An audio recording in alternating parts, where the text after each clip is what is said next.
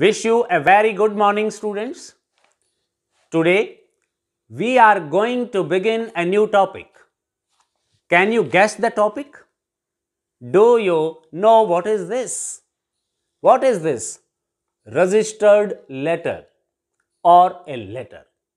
आपने ये एनवलप अवश्य देखा होगा इस एनवलप में आपने लेटर्स आते लिखते या जाते हुए देखे होंगे through department of posts or another way. Now, we are going to begin, we are going to discuss the new topic letter writing. This topic is among the writing skill sections. In every class, in every examination, letter writing is the most important topic. Either this or that type of letter is asked to write. And this letter writing contains or takes 5 to 6 marks in every paper or every exam.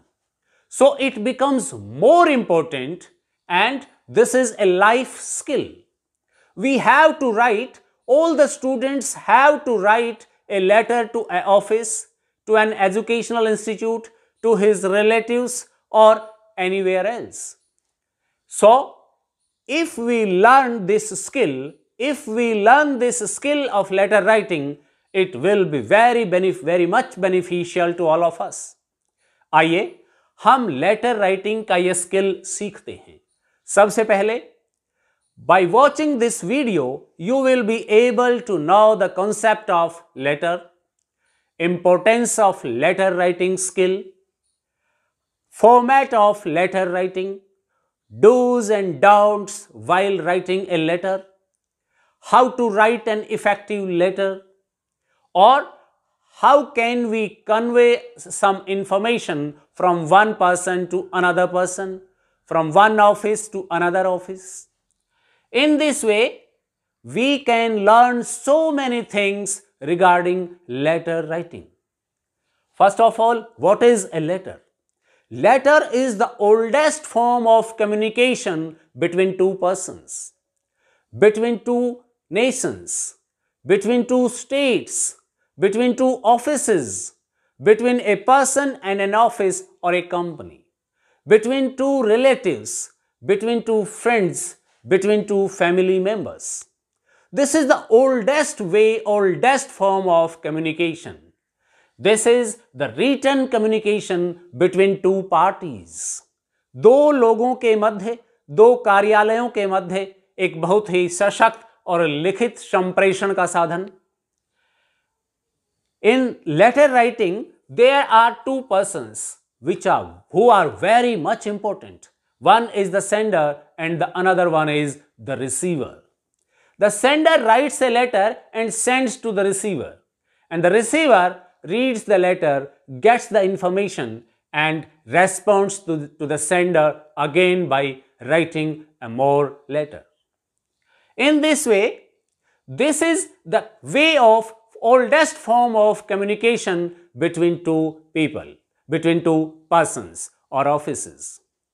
But in case of letters, today we get no letters in case of families, friends or relatives because mobile phones, frequent, frequent chat between relatives, friends and family members, WhatsApp, Instagram, Facebook have decreased the importance of letter writing between family, friends, relatives and other members. But we shall discuss here the types of letters. First is formal letter. Another one is informal letter and social letters. Here we shall discuss formal letters. What do you mean by formal letters? Formal letter आज भी उतने ही प्रासंगिक हैं जितने पहले होते थे बल्कि उससे कहीं ज़्यादा हाँ इतना अवश्य है कि आजकल हम letters through email, through electronic mail भेजते हैं। इलेक्ट्रॉनिक मेल से ही हमें लेटर प्राप्त होते हैं। बहुत ही कम लेटर्स आजकल थ्रू डिपार्टमेंट ऑफ़ पोस्ट भेजे या प्राप्त किए जाते हैं। But we must have the skill of letter writing formal letter formal letter may be of many types for example business और official letters Second one is letter to the editor of a newspaper or a magazine. And the third one is application for jobs, for job opportunities. Now we shall discuss these letters in detail. First is business or official letters. In case of business letters, the letters are written for inquiry, for placing orders of some products, cancellation of orders, complaints of products, reply or response letters or official letters are usually written to some offices to know, to gain or to give some information. For asking or giving some information, official letters are written. We usually write letters or applications to educational institutes and other offices. These letters or these type of letters are considered are taken among business or official letters. अब हम बात करते हैं letter to editor अगर हमें किसी information की को अवे पब्लिक को अवेयर करना है किसी इंफॉर्मेशन से। If we want to create awareness among people awareness among public then we have to write a letter to the editor of a renowned newspaper or a magazine opinions suggestions are given are written on the issues of public interest public interest के जो issue होते हैं, उन पर अगर हमें अपने opinion या सजेशंस संबंधित ऑफ़िस को, मैनेजमेंट को, गवर्नमेंट को देना है तो हम लेटर टू एडिटर लिखते हैं which is very important this is written for या to create public awareness and the next is job applications Job applications are usually written to seek jobs, to find jobs, or it, it, to forward or resume for job opportunities to different institutions or organizations. In this way, we write these formal letters. If we know the writing skill of letters, we can get full marks in letter writing skill. Dear students हमने जाना एक formal letter क्या होता है? उसकी हमें कहाँ कहाँ आवश्यकता पड़ती है? आइए, अब हम सीखते हैं how to write a formal letter किसी भी लेटर को लिखने के लिए सबसे इंपॉर्टेंट पार्ट है इट्स फॉर्मेट अगर हम किसी लेटर का फॉर्मेट भी जान लें तो हमारे पास जो भी रॉ मटेरियल है या जो भी लेटर की स्टेटमेंट एग्ज़ाम में पूछी जाती है, उस स्टेटमेंट से हम बहुत कुछ निकाल कर उस फॉर्मेट में लिख सकते हैं अरेंज कर सकते हैं। And it becomes a letter an effective letter आइए हम बात करते हैं कि कौन कौन से इंपॉर्टेंट पॉइंट्स हैं एक लेटर के, जो एक लेटर में हमें लिखने ही चाहिए या लिखने होते हैं। अगर आप एक छोटा सा निमोनिक्स याद कर पाए तो उसका नाम है S D R S S B C S D R S S B C अगर आप इस निमोनिक्स को याद रख पाए तो यही वो सेवन पॉइंट्स हैं which are very important for a formal letter S D R S means sender's address D means D stands for date. R stands for receiver's address. S stands for subject. Next S stands for salutation. Next B stands for body of the letter. And the last C stands for complimentary clause. सबसे पहले हम letter लिखते समय सबसे पहले हम लिखेंगे sender's address अर्थात भेजने वाले का पता लिखेंगे कहाँ? यहाँ हम फॉर्मेट की बात भी साथ साथ करेंगे और उसको कैसे लिखेंगे, ये हम बाद में डिटेल से वन बाय वन सभी पॉइंट्स को डिस्कस करेंगे। सबसे पहले मान लीजिए ये आपका पेज है नोटबुक है या आंसर सीट का पेज है। Write sender's address on the top left corner सबसे पहले हालाँकि बहुत पुराने स्टाइल में हम इसको राइट साइड में लिखा करते थे या केवल रिसीवर्स एड्रेस से शुरू करते थे but this is the new और latest format of formal letter writing write sender's address on the extreme top left corner of your sheet यहाँ पर हम कम से कम थ्री लाइन का ये एड्रेस होगा, जो हम यहाँ लिख देंगे और कैसे लिखेंगे? We shall discuss it letter next is date यहाँ पर हम एक लाइन ब्लैंक छोड़ देंगे ताकि प्रत्येक पॉइंट हमारा बहुत ही वेल ऑर्गेनाइज तरीके से दिखाई दे, हमारा लेटर बहुत ही सुंदर लगे। यहाँ पर एक लाइन ब्लैंक छोड़ते हुए हम लिखेंगे डेट डेट को लिखने के बहुत सारे तरीके हो सकते हैं। कुछ लोग इसे D D M M Y Y format में लिखते हैं। कुछ लोग इसे name of the month D D comma and then year लिखते हैं। वो हम बाद में डिटेल से डिस्कस करेंगे।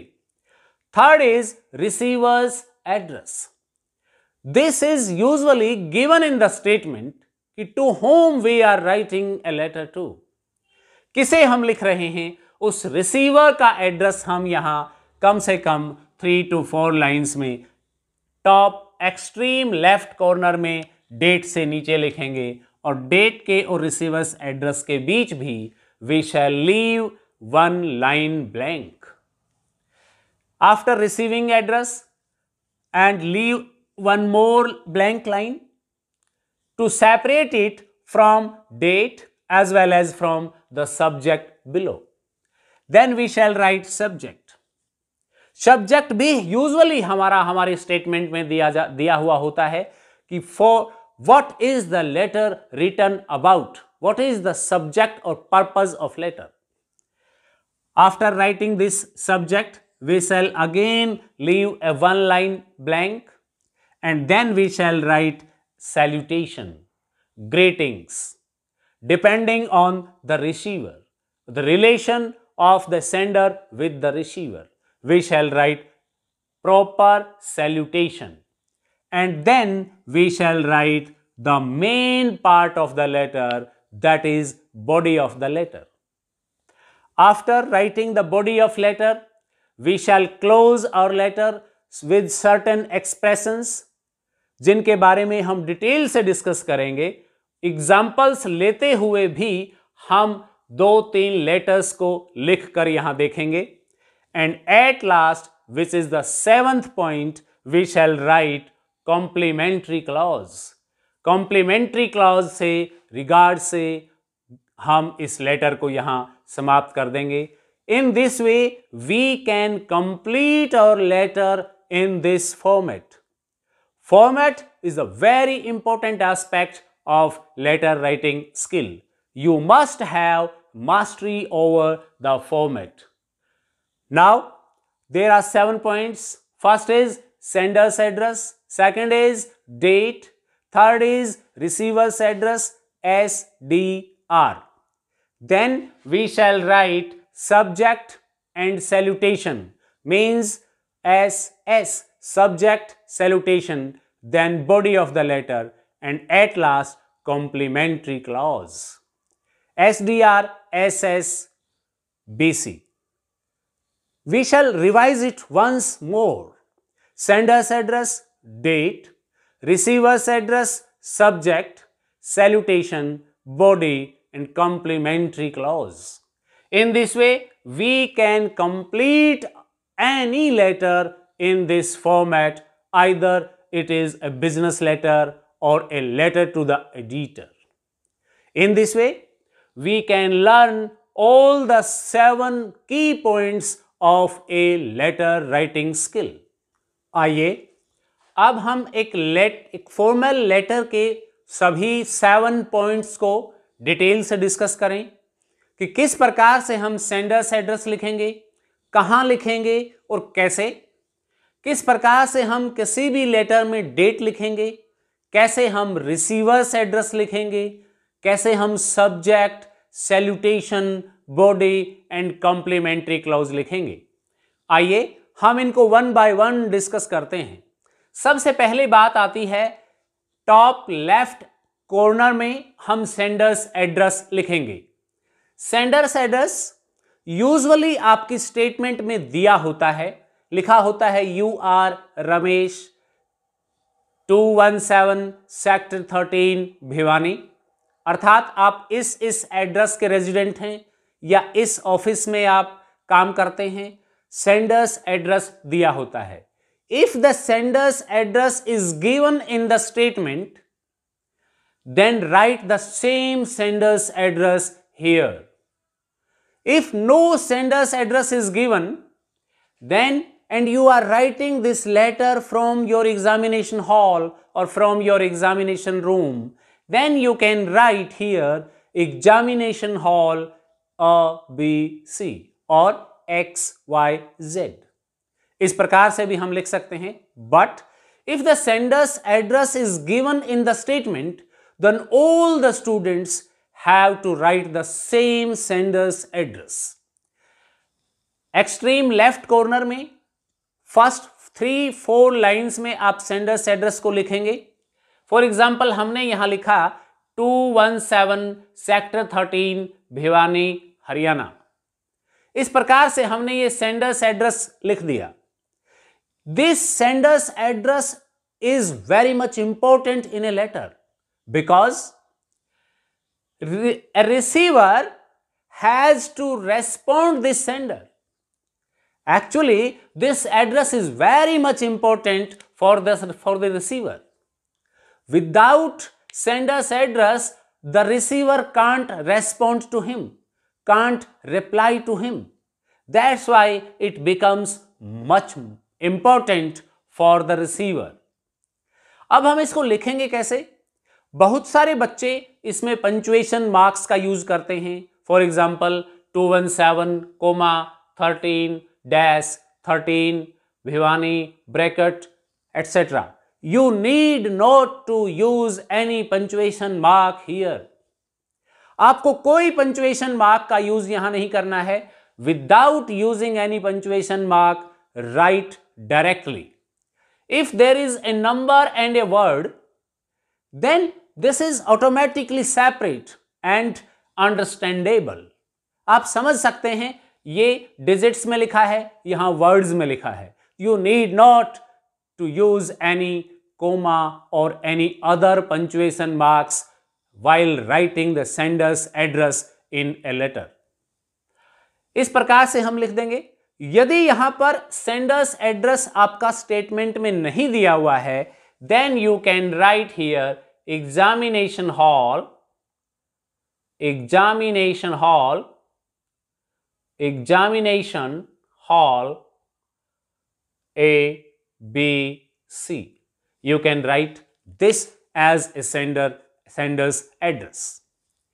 Then leave one, at least one line blank. ताकि ये वाला सेंडर्स एड्रेस डेट से बिल्कुल साफ़ साफ़ अलग अलग दिखाई दे। नेक्स्ट पॉइंट इज़ डेट बहुत से बच्चे यहाँ पर पहले डेट लिखेंगे और फिर इसके बाद डेट को लिखेंगे। You need not to write this word date write the date directly आप सीधा सीधा यहाँ डेट लिखिए। डेट लिखने के बहुत सारे तरीके हो सकते हैं। फॉर एग्ज़ाम्पल आइए हम कुछ तरीकों पर गौर करें। हम डेट को अक्सर, मान लीजिए आज थर्टियथ ऑफ़ अक्टूबर है, अक्सर हम डेट को इस प्रकार से लिख देते हैं। ऐसे लिख देते हैं, या केवल ट्वेंटी लिख देते हैं। इस प्रकार से डेट को लिखा जा सकता है। बहुत सारे बच्चे इसको इस प्रकार से भी लिख सकते हैं। लेकिन, बहुत सारे बच्चे इसको इस प्रकार से भी लिख सकते हैं। इस प्रकार से भी लिख सकते हैं। कोई भी तरीका गलत नहीं है, लेकिन यहाँ आपको ध्यान ये रखना है कि कहीं ये वाला स्लैश, ये वाला डॉट या ये वाला कोमा हमारी डेट को लिखने में रिसीवर को कंफ्यूज तो नहीं कर रहा है। कई बार हम इसको इस तरीके से लगा देते हैं कि ये ऐसे हो जाता है। तो क्या हम इस डेट को अब पढ़ सकते हैं?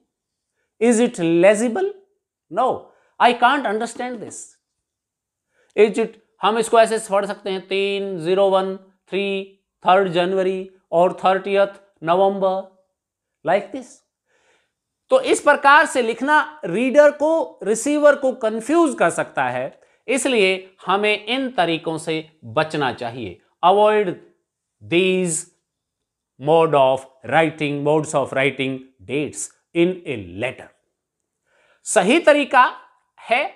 You can write a date in the D D M M and Y Y format जो अक्सर एक मान्य तरीका है, आप इस तरीके से डेट को लिख सकते हैं। For example thirtieth tenth and two thousand twenty और ट्वेंटी ट्वेंटी या फिर आप नेम ऑफ़ द मंथ लिख सकते हैं।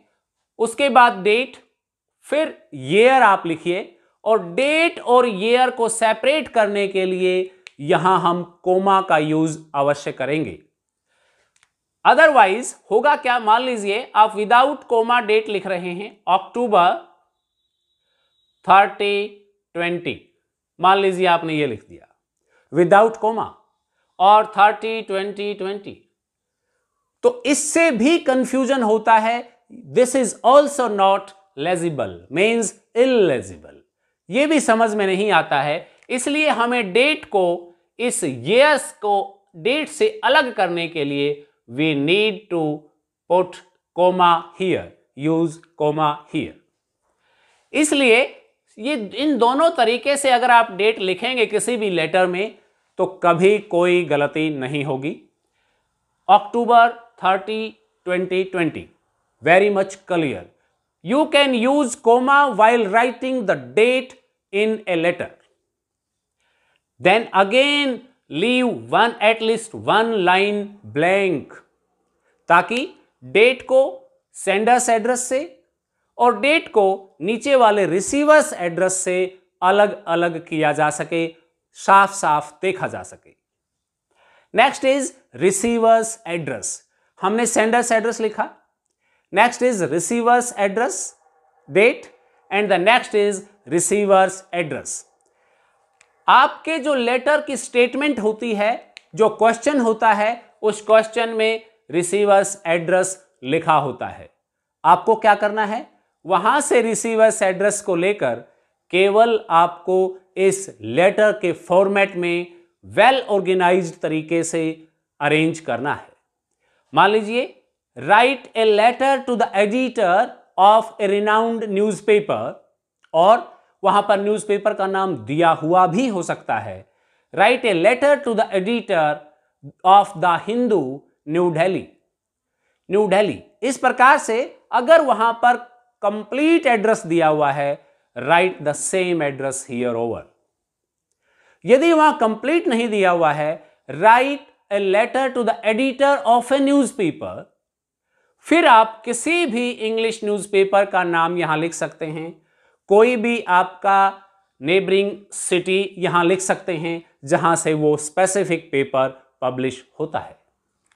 The editor the Hindu New Delhi इस प्रकार से हमने तीन या चार लाइंस में रिसीवर्स एड्रेस लिखा। यहाँ किसी फॉर्म का नाम हो सकता है।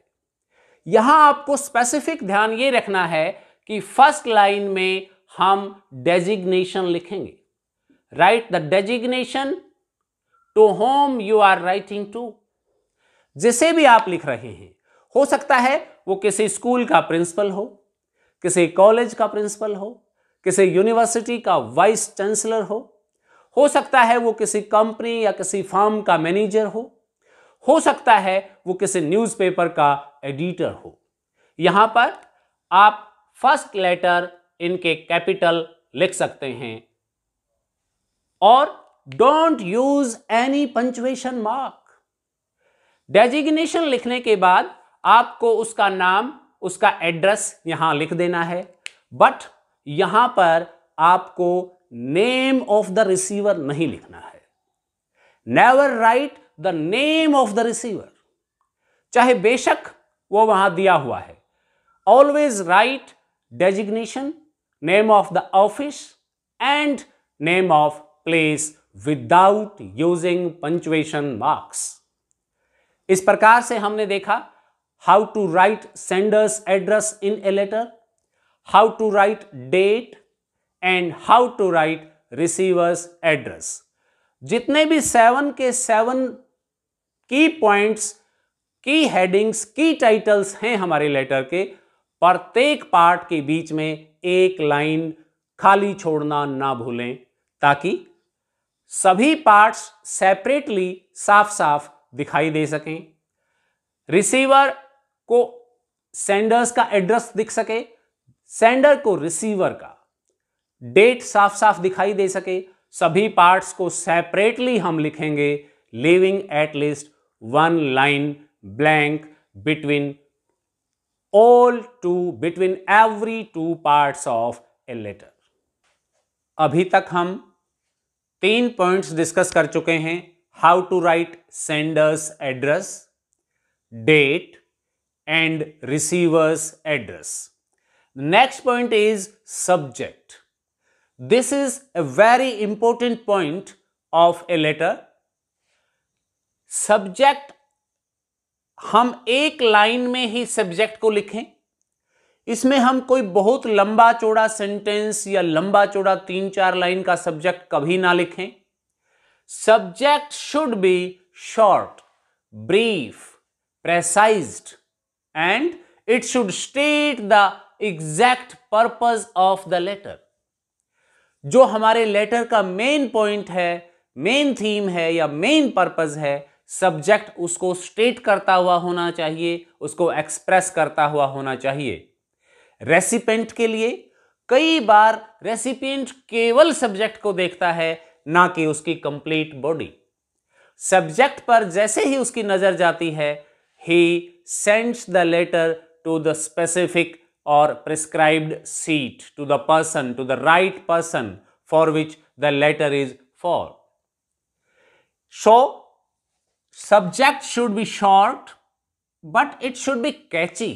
Catchy means एकदम देखते ही उसका ध्यान रेसिपिएंट का या रीडर का सब्जेक्ट पर ही जाता है तो subject should be catchy and it should state the purpose of the letter it should not be more than seven to eight words हम किसी भी टॉपिक का किसी भी लेटर का सब्जेक्ट सेवन से एट वर्ड से ज़्यादा ना लिखें।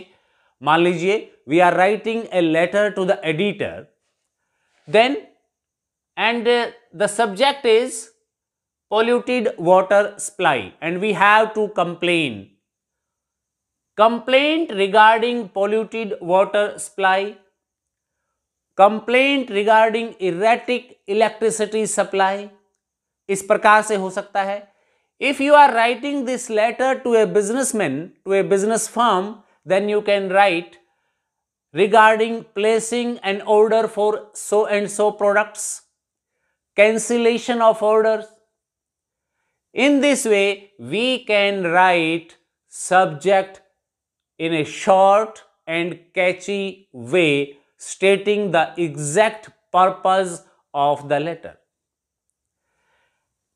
Next is after subject we write salutation and in case of salutation it becomes very important. हम जिसे भी लेटर लिख रहे हैं क्या हम उसे जानते हैं इफ़ आई नो यदि मैं जानता हूँ for example a student is writing a letter to school administration or the school principal and he knows, he or she knows who is the principal. If the principal is a male person, then he or she or a student should write sir. Sometimes we write dear sir, esteemed sir, respected sir. As per my opinion, I think we need not to write many adjectives before this word sir or madam because sir and madam are themselves respected words. Sir और madam अपने आप में ही respected words हैं। इससे पहले हम esteemed respected और dear sir और डियर मैम ना लगाएँ तो ही अच्छा है। यहाँ पर आप, यदि आप जानते हैं दैट द बॉस और the person whom you are writing to is a male person then just write sir if the person whom you are writing to is a female person then write madam and if you don't know either he is male or she is female then write sir oblique madam that is sufficient. You have to write the letter to some officials, editors or businessmen or other officials. Then just write sir or ma'am or sir oblique madam. This is, this will be sufficient to write. Next is body. यहाँ पर हम subject और salutation के बीच भी एक line blank छोड़ देंगे और सैल्यूटेशन के बाद भी एक लाइन ब्लैंक छोड़ते हुए we shall write we shall begin writing the body of the letter As far as the body of the letter is concerned, the body is the main part of any letter. This is the main part. First of all, we have to write the body in at least in three paragraphs, short paragraphs. We have, we need not to elaborate the body in two, one and a half pages or more than two pages. We have to complete it in more than half page of a register. Now, whatever is the subject, to whomever we are writing to, we should we should divide the body of the letter into three paragraphs para 1 para 2 and para 3 चाहे कोई भी subject हो आप body को तीन short paragraphs में बांट लीजिए। पैरा वन अब पैरा वन में हमें लिखना क्या है? पैरा टू में क्या लिखेंगे और पैरा थ्री में क्या होगा? आइए, इस पर हम थोड़ा सा प्रकाश डालते हैं। पैरा वन पैरा वन में हमारा जो लेटर का जो पर्पज है, वो होना चाहिए। पर्पज मेन आइडिया और रेफरेंस टू समथिंग आप किसके रेफरेंस में ये लेटर लिख रहे हैं?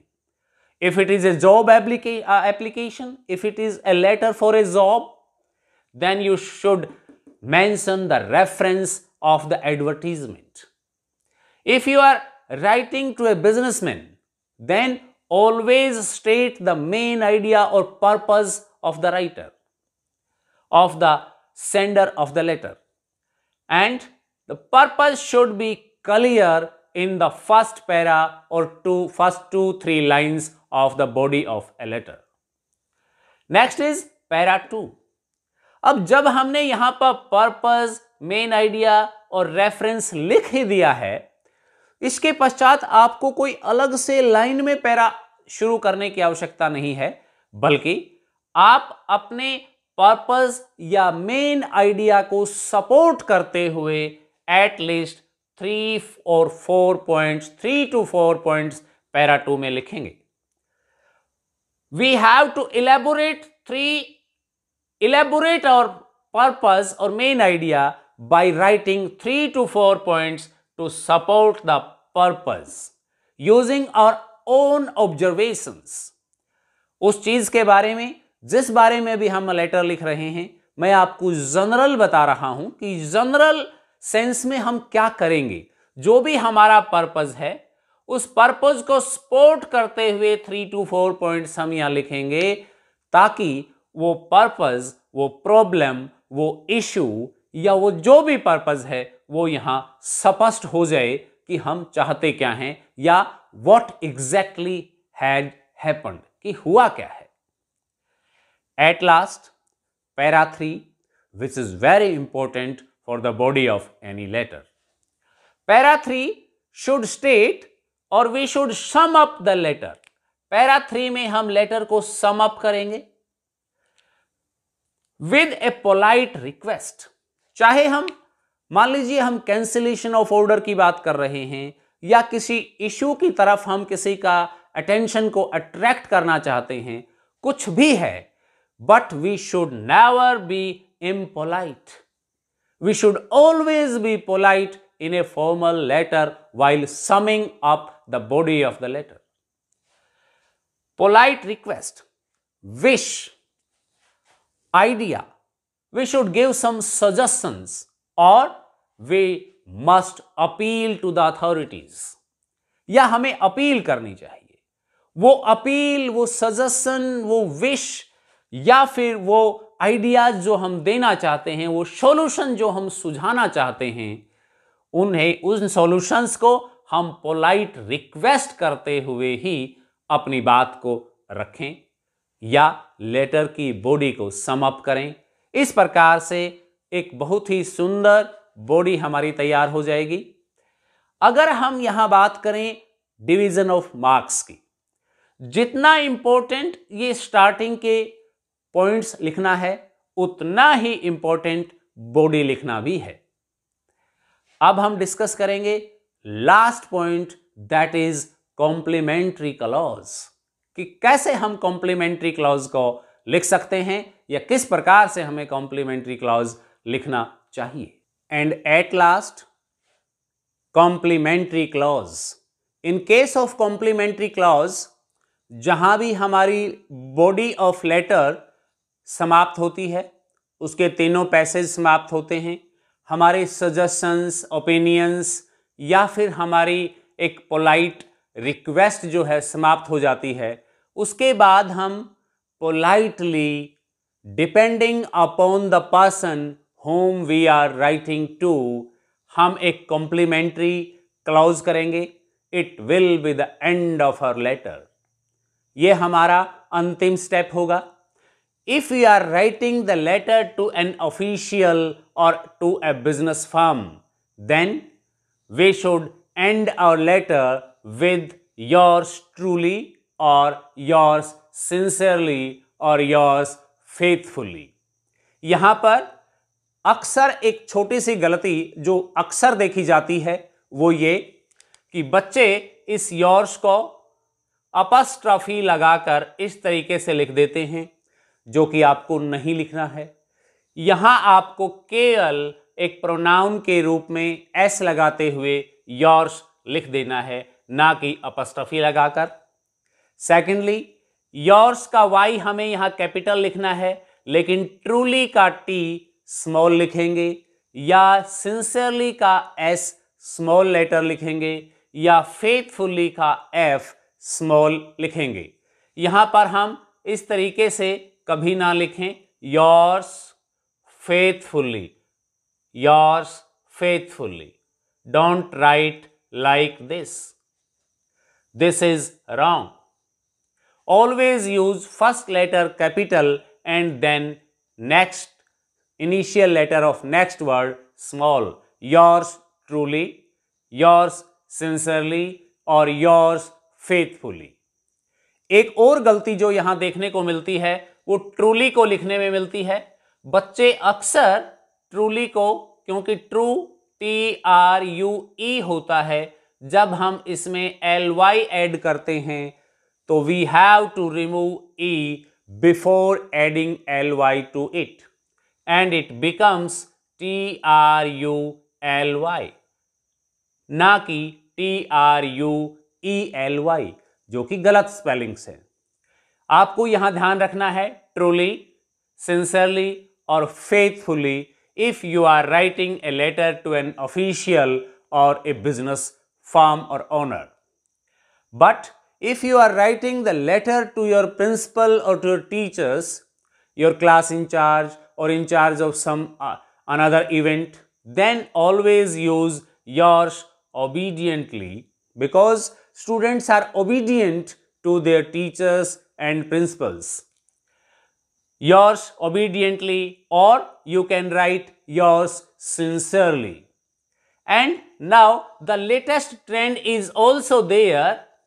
Sometimes it is also written sincerely yours. Sincerely yours. You can write like this also. Sincerely yours. In this way, we can end our letter by writing this short, this short complementary clause. If you are writing the letter to your family members, relatives or friends, if the letter is informal one, then this complementary clause will change completely. Then we have to write yours lovingly, yours loving son, loving brother, loving sister or loving friend or yours affectionately. In this way, this complementary clause gets changed while writing the letter to our family, friends and relatives.